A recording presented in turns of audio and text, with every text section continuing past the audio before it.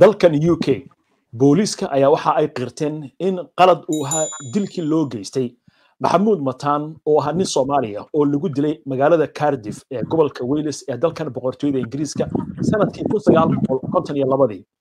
Haddaba arrintan jaaliyadda soomaalidu sidee bay u arkaan? Waxaa qadka magaalada leicester iminka toos ugu jira hashim ducaale oo ka mid a dadka hogaamiyaasha u ah jaaliyadda soomaalida isla markaasna arrimaha soomaalida aadka ugu dhaqaaqa hashim aad iyo aad baad u mahadsan tahay. Muddo waxaad ku jirtay oo abaalmarin boqortooyada ingiriiska kuu siisay howlaha badan aad ka qabato arrimaha soomaalida. Marka warkan ku aadan in toddobaatan sane kadib booliiskii ay qirteen in maxamuud mataan loo dilay si qalad ah.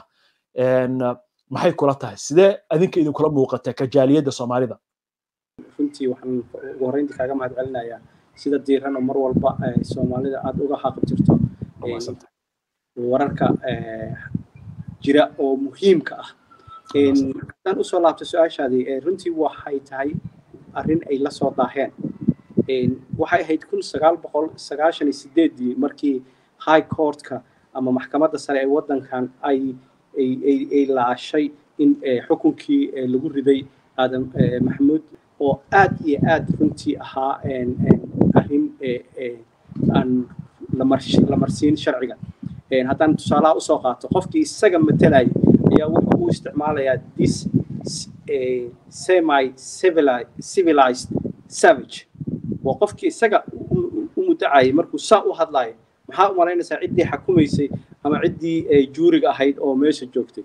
Halkaas waxaa kaaga muuqda inay ahayd arrin runtii cunsurinimo ay ku jirtay oo dad badanna runtii hadda markay aad u akhriyeen taariikhdaas ka gubtay ayna ahayd bareer ay loogu talagalay in ninkaa lagu khaarijiyo isagoo aan waxba galabsan ilaa uu ka dhimanayna wuxuu sheegayay inaanu arrintan lugna ku lahayn. Cid dhegaysatana la waayey ilaahay ha u naxariisto walaalkeen maxamuud mataan maxamuud mataan markii la dilayey waxaa la sheegay in isla markiiba intii la qabtay saddex bilood gudahooda xabsiga lagu dilay. Garsoorayaashii xukunka qaadana waxaa la sheegay inay ahaayeen caddaan. Sidaa sheegtana ninkii difaacaya laftigiisiba hadalladaasi cunsuriyaddu ka dhamaysay ka muuqatay. Dadka soomaaliyeed toddobaatan sano kadib jaaliyad badan oo xoog leh oo soomaaliyeed baa ku dhaqan halkan oo jiilkii saddexaad baa iminka la gaari rabaa. Maxay uga dhigan tahay marka? Xukunkan toddobaatan sano kadib la ogaaday inuu cadaalad darro ahaa. Maxay uga dhigan tahay jaaliyad ahaan soomaalida? Runtii waa aad bay ula soo daaheen oo inuu cadaalad darro ahaa. Kun sagaal boqol sagaashan iyo sideedii ayaa maxkamadda sare ay sheegtay. Marka aad bay ula soo daaheen south wales booliiska inay hadda toddoba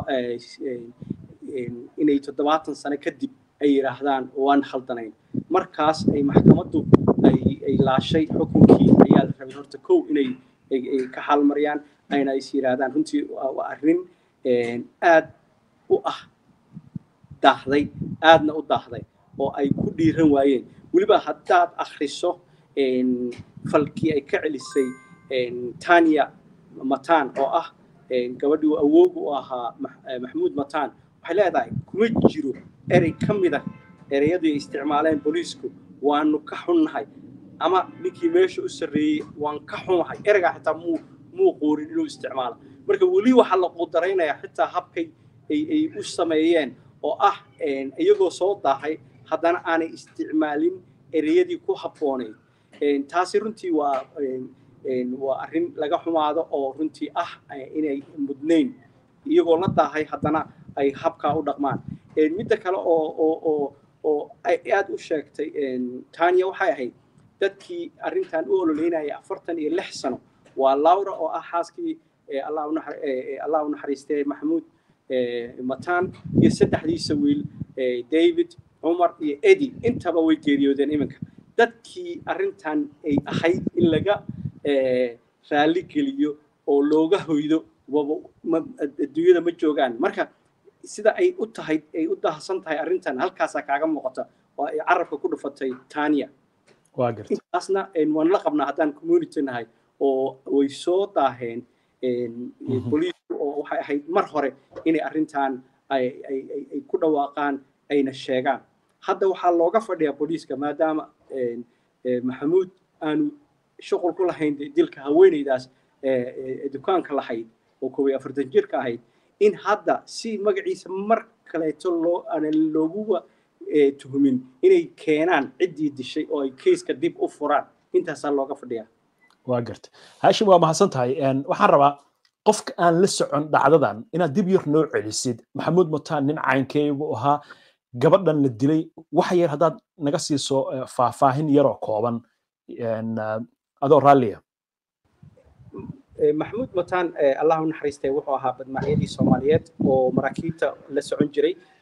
Siday caadada ahaydna markii ay shaqada ka dhammaato waxay howlgab ku noqon jireen waddankan britain magaalooyinkiisa magaalo xeebeenkiisa cardiff ayay noqotay magaaladii uu maxamuud ku degay uu halkaas uu ka caashaqay gabar caddaan ahayd oo laura la dhihi jiray. Laura iyo maxamuud runtii waxay ka muteen bulshadii waagaas jirtay inay cunsuriyad badan geliyaan oo ay xitaa ay labadoodii si ay u ammaan galaan.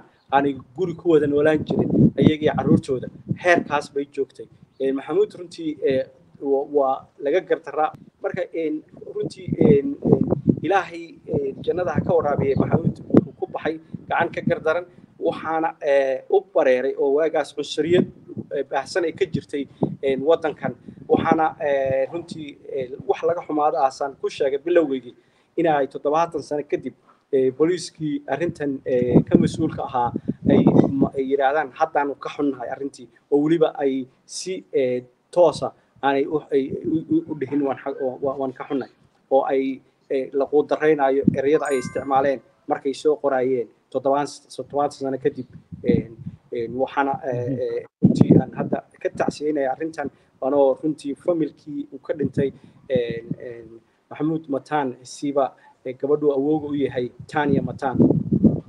Inkastoo a soo hadal qaaday inay muhiim tahay cadaaladda inay ka mid tahay in magaciisii uu laga saaro dembigii lagu soo oogay isagu waaba dhintayba isla markaasna la helo cadaalad ku aadan qofkii dilay gabadhii lagu eedeynaya inuu dilay asagu waxaa jirta labadii kun iyo kowdii in xafiiska arrimaha gudaha home office la dalkan ingiriisku ay magdhow siiyeen qoyskii mataan. Laakiin ma is leedahay iminka arrintaasi inkastoo shaaca laga qaadinaya waxa ay tahay ma is leedahay bacdamaa hadda raaligelin boolisku ay dhiibayeen in dib loogu laabto arrintaasi magdhowga ma is leedahay iminka way furan tahay? Runtii dadka sharciga aadka u indhaindheeya ayaa arrimahan ku wanaagsanaa inay ka jawaabaan. Balse sidaad ka akrin karto sida familka uga fal celiyey siiba gabadhan tania oo hadda ah afhayeenka familka way quudaraynaysaa. Waxaanay la tashanaysaa lawyer si ay arrinta ay si aad ah ay ugu kuur gasho sidaad la socoto kun sagaal boqol sagaashan iyo sideedii markii maxkamadda sare ay laashay sharcigii lagu fuliyey ayna ku tilmaamtay inay ahayd cadaalad darro. Home officeka laftigiisa inuu la daaho oo ilaa labadii kun iyo kowdii uu yidhaahdo haddaan magdhow bixinaynaa oo way xumayd waxaa kaloo ka sii xunba hadda sideed iyo toban sano kadib inay booliiska yidhaahdaan waa ka xuna iyakuna marka arrintaas intaasoo dhan waa arrin aan ku boorinayay siba dadka u dhaqdhaqaaqa bulshada inay soo saaraan qoraallo ay familka ay ku garab istaagayaan oo siiba dadka bulshada hogaamiya ay arrintan ka fariistaan kana soo saaraan qoraallo familka lagu garab istaagayo. Waa garta. Ugu dambeyntii hashino waxaa jira dhaqdhaqaaq waddankan ingiriiska iyo waddamo badan oo maraykanku ka mid yahay ka taagan oo ah in cadaalad la dalbo gaar ahaan sidii dilkii georgia floyd oo kale. Halkan laftigeeda taalooyin lagu eedeynayo in loo taagay dad cunsuriyad ku lug lahaa dhaqdhaqaaqan black lives matter. Waxaasi oo dhan ma qayb bay ka yihiin in arrimahan dib loogu laabto waxyaalihii cadaalad darradaha oo dhaca miyaad is leedahay oo miro dhal buu noqday kambeynkii ama ololihii arrimahan ku aadanaa oo la waday. Mise waxaad leedahay faanole fare kama qodna.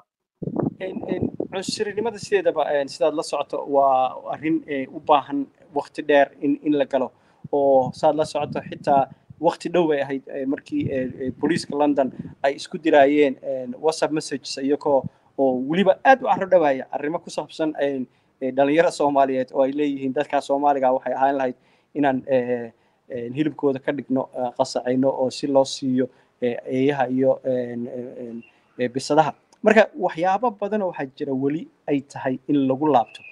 Ma dhahayo booliiska oo dhan baa wada xun laakiin inta xun ayaa mar walba keenaysa inay dadkii aanay ku kalsoonaan kalsoonida ka dhunto markii laga hadlayo arrimaha booliiska taasina looga fadhiyo booliisku inay iyaku ay iska saaraan intan magac xumada u soo jiidaysa.